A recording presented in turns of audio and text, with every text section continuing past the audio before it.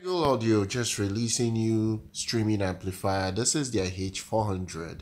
Uh, it's quite powerful. This thing is a beast. It puts out 250 watts per channel. It's it, it has a lot of features, even for the fact that it's not it's not the biggest uh, amplifier you can buy with in terms of size but it's expensive. It is seven thousand dollars. That's the price tag. This is this is quite quite high, and it's going to replace the company's H390 model. The H400 can drive almost any speaker and connect any uh, to connect to any source and stream any anywhere you want it to stream. Basically, uh, without any compromise in audio quality. But for Christ's sake, it's seven thousand dollars. It should be doing all this with ease. So it's a high end product. Make no mistake about it. Uh, that's the that's the cool thing. Now it comes with a DAC. There's a DAC inside it, but there is no specification as to the type of DAC that you're gonna get inside it. It's uh, it's it's quite it's quite huge, but it's not crazy huge. It's easy to move. I think someone can easily move it with you know just carrying it. It's it's not that heavy.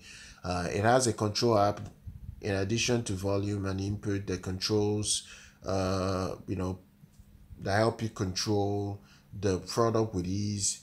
Uh, if you want to, the sound quality is great. It has a solid aluminum front panel and knobs milled out from a one uh, from a single aluminum block and then and then that's the way they made the chassis. The chassis is, is of a high quality design. Uh, honestly this thing is a beast. It supports multi-room. The h400 supports multi-room. True Roon apple uh, airplay Google Cast, enabling synchronized music playback in different areas of your home. Uh, it's just good and it's made in house. The H400 has been developed in house to ensure consistent quality control and cohesive design. It's it's it's of a very very high quality in terms of its build.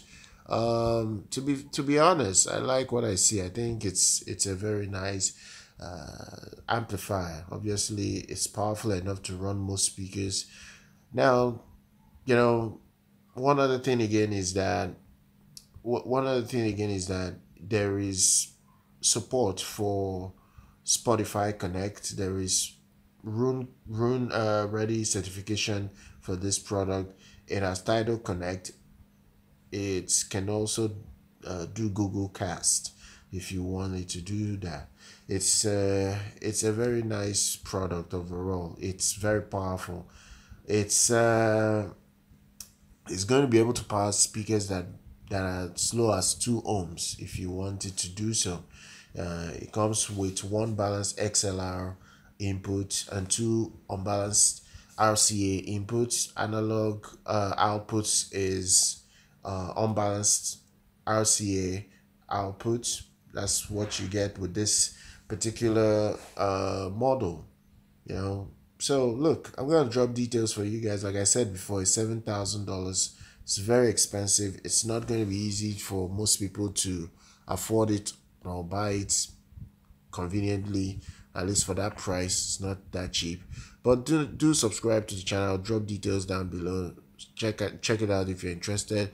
Subscribe to the channel. Do like our content. I'll see you guys very much next